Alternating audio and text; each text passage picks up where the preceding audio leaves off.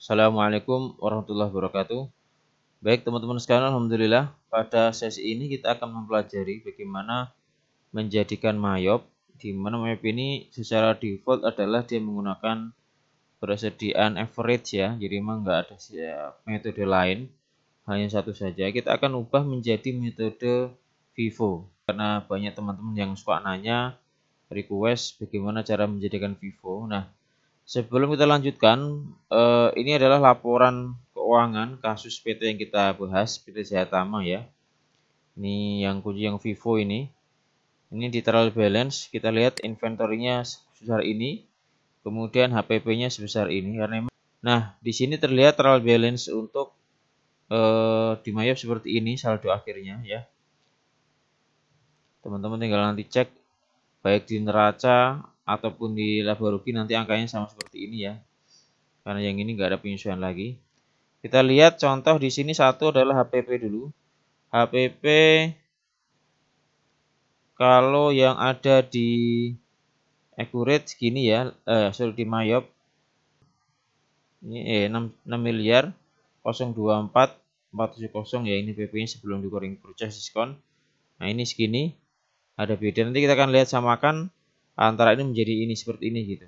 Oke, kita lihat bersama-sama pengerjaannya seperti apa. Nah, teman-teman silakan cek di sini di bagian account inventory, inventory, kemudian account inventory. Di sini totalnya adalah 48 dan 46. Eh, sementara kalau kita melihat di laporan persediaan manual ya metode Vivo. Ini kita lihat untuk yang tipe 1 ya ini lemari pajang tipe 1 kita lihat angkanya berapa. Ini dia ada tiga ya, ada tiga. Ini kalau pakai yang Vivo seperti ini hasilnya. Saya kasih warna kuning biar jelas. Nah, di sini terlihat ada tiga jumlah 48 ya.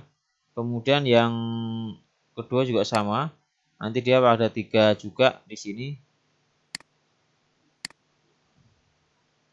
Yaitu 17, 13 dan 16. Ini untuk barang yang kedua.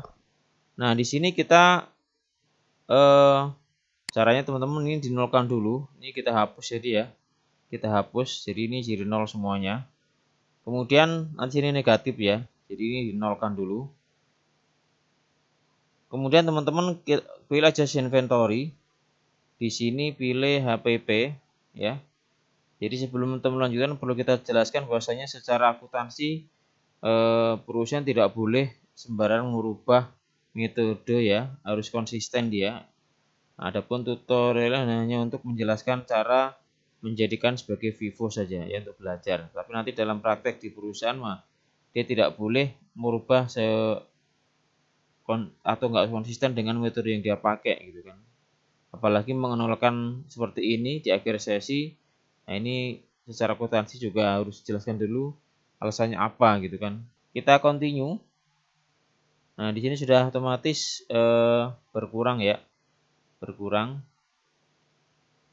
Nah kita lihat dari yang atas dulu yang barang pertama. Di sini menjadi kita isikan sesuai jumlah yang manual. Harganya 4 juta 065. Oke. 4 juta 065. Kemudian masih sama, jadi kita jadikan 3 22 4 juta 063 harganya adalah 4 juta eh sorry Harganya 4 juta 063 ribu rupiah. Terus yang ketiga di sini adalah 10 unit 4 juta 025 Oke ya. Ini untuk yang eh, barang pertama. Oh ya, sini kita ganti dulu lewatan. 31 12 2021 20 ini keterangannya penyesuaian. Penyesuaian.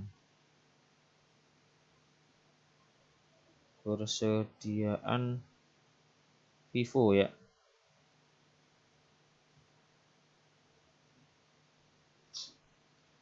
Kemudian barang yang kedua kita lihat angkanya berapa? Ini 17 unit dengan harga 5 juta 940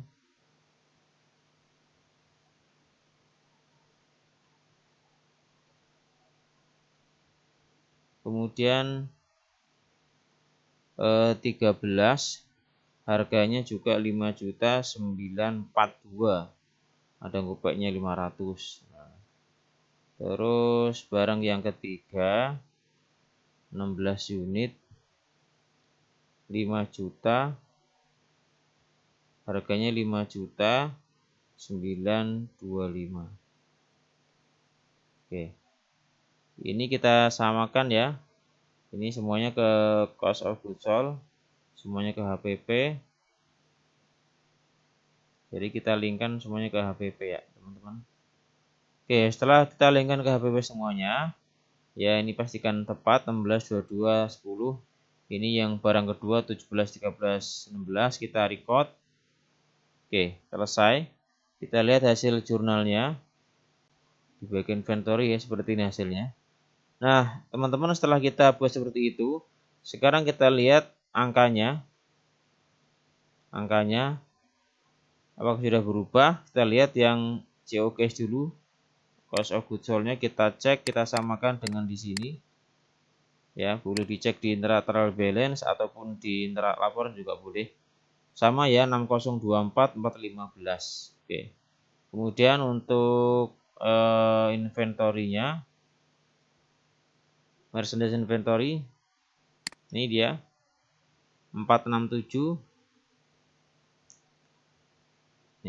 nih 467 708 500 rupiah nah, nanti eh, laporannya juga akan berubah di laporan laba rugi ataupun di laporan neraca ya jadi demikian teman-teman cara singkat eh, ini kita lihat neraca dulu contohnya. Ini jadi seperti ini ya sama ya. 467 708 500. Kemudian di laba rugi kita lihat eh, yang CO nya juga akan berubah ini jadi seperti ini. Nah. Oke, jadi ini tadi ya dan demikian teman-teman semoga bisa dipahami. Terima kasih sudah menyimak di video saya. Jadi sekali lagi ini untuk menyamakan antara laporan manual dengan laporan secara mayop tapi dirubah ke Vivonya ya. Terima kasih. Assalamualaikum warahmatullahi wabarakatuh.